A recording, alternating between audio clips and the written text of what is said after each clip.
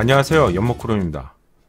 대한민국 프리미엄 브랜드인 제네시스 최초의 SUV인 GV80의 출시가 이제 정말 얼마 남지 않았습니다. 사전 계약 기간을 포함한다면 이제 한 50일 정도 남았다고 할수 있는 시기인데요. 덕분에 관심은 절정에 이르는 시기라고 할 수 있습니다. 자동차를 좋아하는 연목구름과 같은 사람은 물론이겠죠.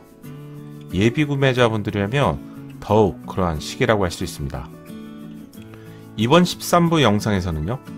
정말로 오랜 시간 동안 위장막 커버로 베일에 가려져 있었던 GV80이요. 드디어 위장막 커버를 벗게 되면서 위장막 테이프만 붙인 차량이 포착되었습니다. 위장막 테이프 차량이 포착되었다는 점은요. 이제 곧 공개를 앞두고 있다는 말이겠죠. 작년에 포착된 위장막 차량의 경우 차량 전체에 위장막 커버로 가려져 있었습니다. 그리고 한 달 전쯤이죠. 알프스 부근에서 포착된 위장막 차량의 경우 전면부 위장막 커버가 제거되었습니다. 연목구름과 같은 사람은요, 전면부의 디자인 특징을 알아볼 수 있었기 때문에 와라는 감탄사를 말씀드렸는데요. 하지만 이때에도 어, 그릴 주변부에 위장막 테이프가 촘촘하게 붙여져 있어서요. 전면부의 특징을 완전히 파악하기 힘들었습니다. 하지만 전면부의 위장막 커버가 제거가 되면서요. 전면부와 측면부 디자인 특징을 발견할 수 있었습니다. 하지만 이때까지만 하더라도요. 후면부의 디자인은 한 번도 위장막 커버를 벗은 적이 없기 때문에 후면부 디자인은 도무지 알 수가 없었습니다. 그리고 바로 최근이죠. 후면부 위장막 커버까지 제거된 차량이 최초로 포착되었습니다. 차량 전체에서 더 이상 위장막 커버를 발견할 수 없었습니다. 전면부와 측면부 디자인은 콘셉트에서 본 것과 상당히 유사한데요. 하지만 후면부 디자인은 quad램프와 머플러 팁을 제외한다면 상당히 많이 수정된 것을 알 수가 있습니다.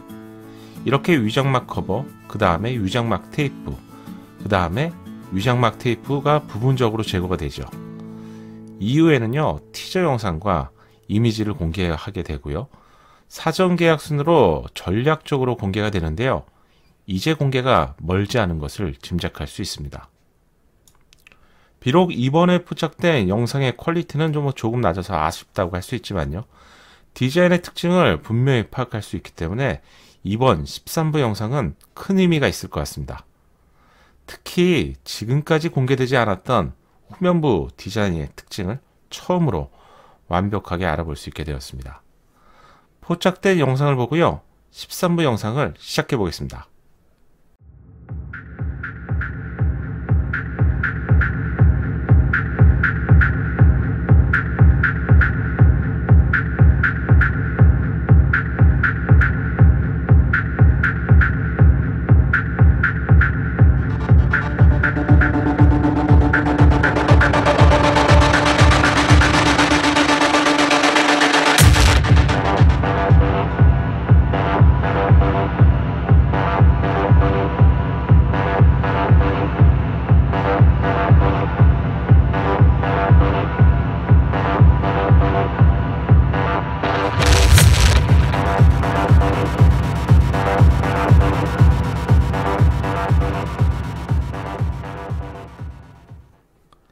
영상을 시청하기 전에 구독을 부탁드립니다.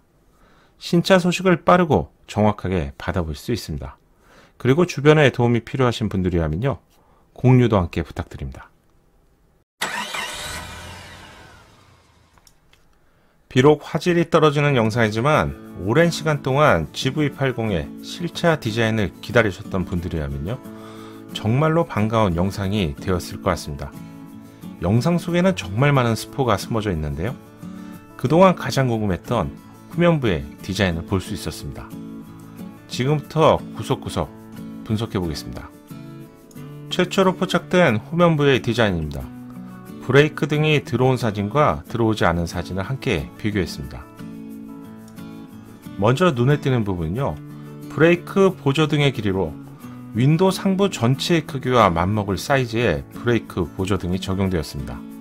대충 눈대중으로 가늠해 보더라도요 한 1m가 충분히 넘어가는 그러한 사이즈라고 할 수가 있는데요 지금까지 국내 차량에서 볼 수 없었던 압도적인 사이즈를 제공하는 것 같습니다 덕분에 후면 차량에게 시인성뿐만 아니라 안전에 도움을 주는 부분이기 때문에요.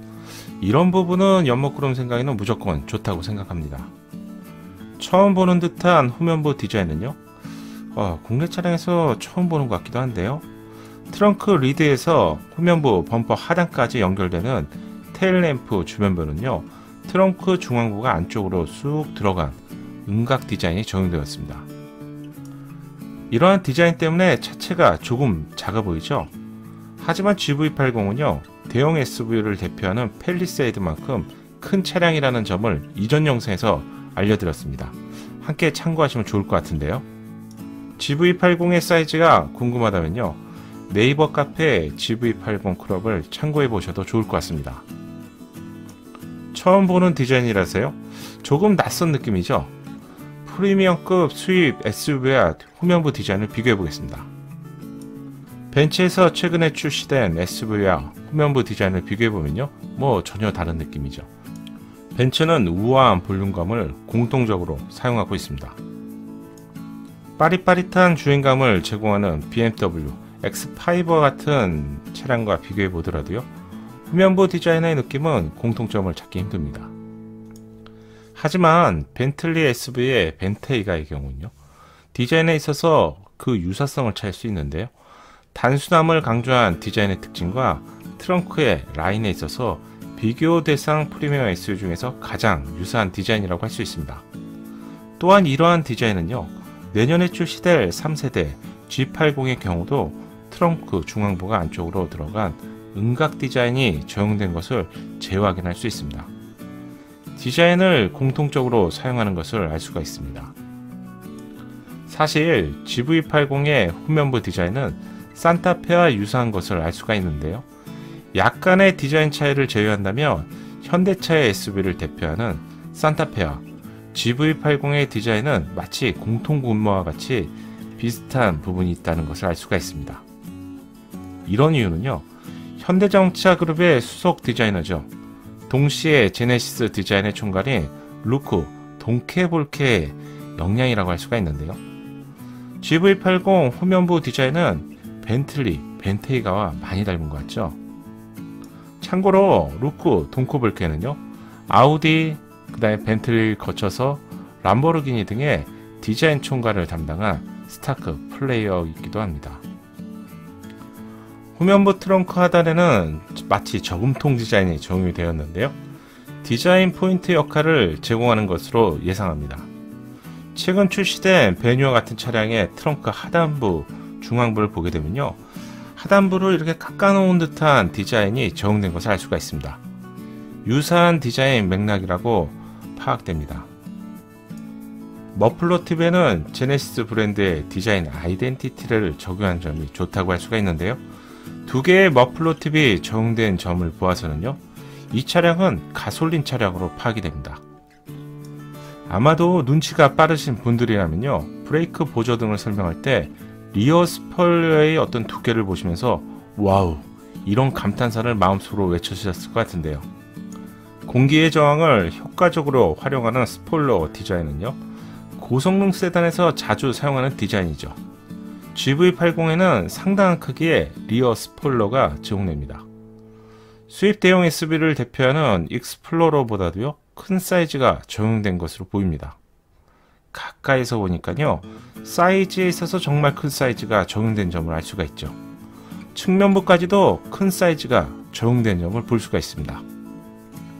후면부에서 측면부로 이어지는 캐릭터 라인은요 사이드 미러에서 후면부로 이어질수록 낮아지는데요. 즉 앞쪽이 높고요 뒤가 낮은 이러한 디자인은 마치 총알이 펑 하고 튀어나가는 듯한 역동성이 강조된 디자인이라고 생각합니다. 콘셉트 차량에서 본 것과 상당히 유사하죠?